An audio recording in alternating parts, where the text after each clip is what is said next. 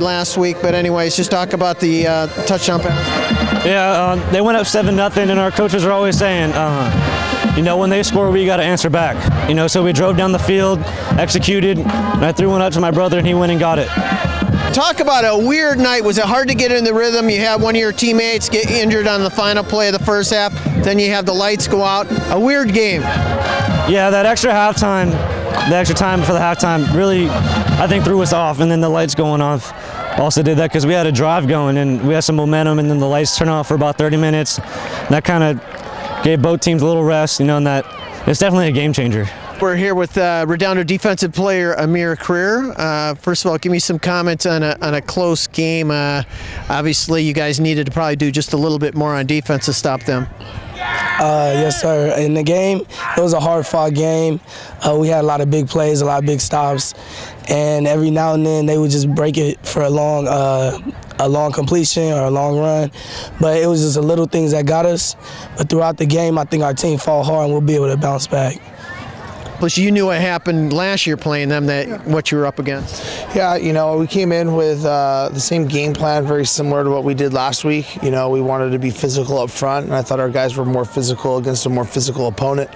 Um, you know, we just missed some assignments here and there, and, you know, we got to do a better job. And losses in the preseason, even though this is hard to swallow, um, you know, it, it's a learning curve, you know, and we got a lot of young guys on the offensive line. We're starting two sophomores, um, you know, so hopefully they learn and, and get better, and, and, we'll see how we respond next week. It's Redondo head coach Matt Ballard. Uh, first of all, coach, uh, let's summarize tonight's game real quick. You lose by three after a you know big win last week. What's the summary you want to hear? You just did it. It was, uh, yeah, I mean, close game. It was a very close game that I thought was a very winnable game. So it's a frustrating, frustrating loss for sure. So what are you seeing out of your team after two weeks? I mean, uh, you've got a few uh, few weeks with this team now.